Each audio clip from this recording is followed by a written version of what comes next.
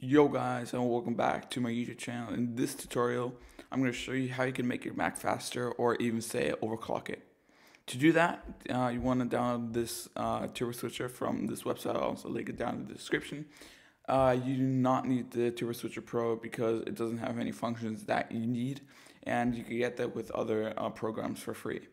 So uh, to get this program, you want to download the turbo switcher from this website as already said and you just want to get it down for free. Uh, you'll get a zip file um, under downloads, and you want to unzip it. And once you've unzipped, you get this folder with uh, README and Turbo uh, Boost Switcher. Um, you read this if you want to, but just double click on Turbo Boost Switcher. Um, as you open it, no app is going to open, but up here in the taskbar, you see this lightning bolt and it says Turbo Boost Switcher. Uh, under this folder, you can see like the CPU load, the temperature of the CPU, and uh, the fan speed. Because uh, this is Apple, it's uh, the fan speed only goes like on when it's like at 75 degrees, pretty much. And um, yeah, so it's automatically activated when the program is open. So your CPU has, uh, or all Intel CPUs have like hyperthreading. That means that uh, some cores can go over their core clock and um, then for be faster.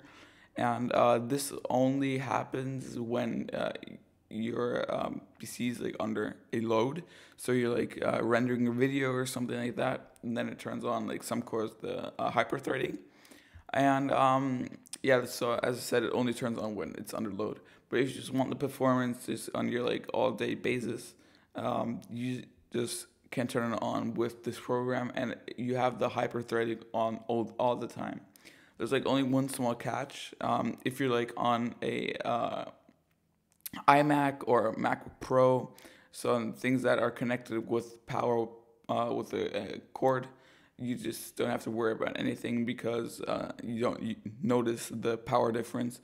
Um, but if you're like on a um, iMacBook um, or MacBook Pro or something, um, the problem could be that your battery runs out faster, and um, that's why if you just say, okay, I don't need it right now, I will just go up here and uh, just uh, end it right here or just end the whole program. I just like to end the program because it seems like to me it's like really deactivated.